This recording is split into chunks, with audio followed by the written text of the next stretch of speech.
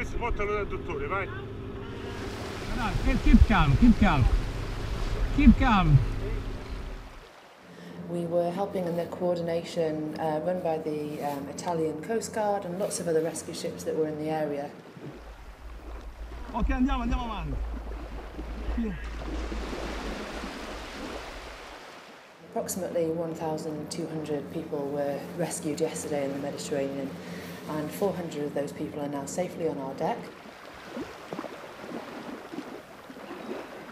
They've had a meal last night before uh, sleeping with the blankets that we gave them. They've also got a backpack with water and food and essential items in it. They've had breakfast this morning, some hot tea that uh, always goes down well. Now we are just passing Lampedusa and hoping to make it back to Italy by morning.